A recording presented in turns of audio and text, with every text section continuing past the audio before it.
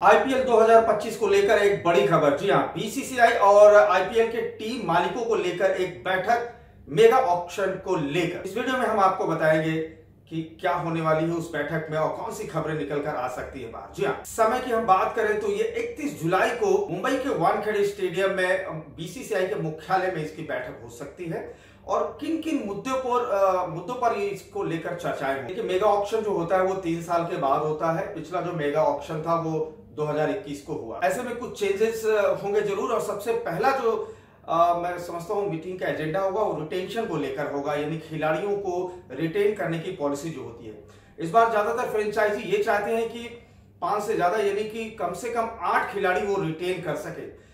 दोस्तों ऐसे में ये थोड़ा सा मुश्किल हो जाता है क्योंकि अगर आप आठ से ज़्यादा खिलाड़ी रिटेन करेंगे तो बाकी जो वो ऑप्शन में खिलाड़ी रहते हैं, उनकी वैल्यूएशन को कम आंका जाता है। तो ऐसे में बीसीसीआई ये चाहता है कम से कम पाँच खिलाड़ी ही रिटेन करें और देखना इसमें कितने टीम मालिक सहमति जताते हैं। ये बड़ा मुद्दा होगा रिटेंशन को लेकर।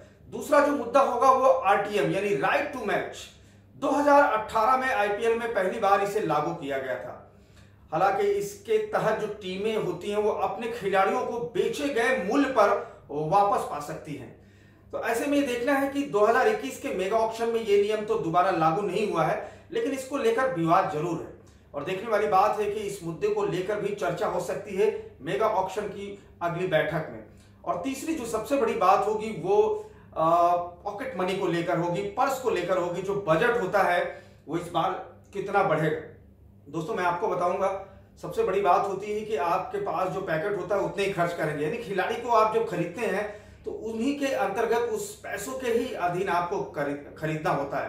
तो ऐसे में टीम फ्रेंचाइजी ये चाहती है कि ज़्यादा से ज़्यादा पॉकेट मनी बढ़े, लेकिन ये स्वाभाविक तौर पर इतना आसान नहीं होगा। देखते हैं इकतीस जुलाई को होने वाली बैठक में क्या कुछ चीज़ें निकल के आती